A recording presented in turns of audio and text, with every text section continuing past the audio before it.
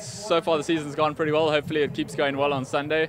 Uh, last year I, I, had to pull out of Ironman Austria at the last minute for because of illness and decided two weeks later to do to Challenge Roth instead and was just so blown away by the, the amazing event here that I decided to come back this year and, and you know soak it up some more. It's the 10th anniversary so even more special than, than it normally is and it's always special. So um, yeah, looking forward to a great race on Sunday.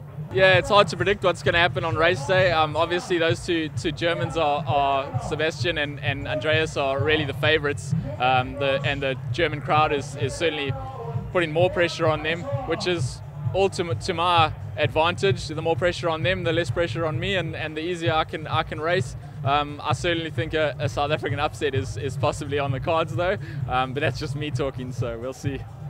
Yeah, the strategy is slowly evolving. You know, um, I started as a runner, and, and running has been my strength. So previously, my strategy has always been on the run. Um, but as I spend more years in the sport, my bike's getting stronger and stronger, and, and obviously that's becoming a strength that I need to start capitalizing on.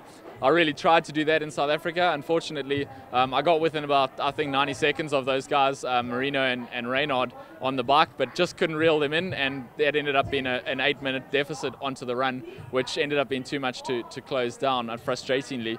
Um, so this time, yeah, certainly looking to work a bit harder on the bike and, and limit that, that kind of damage.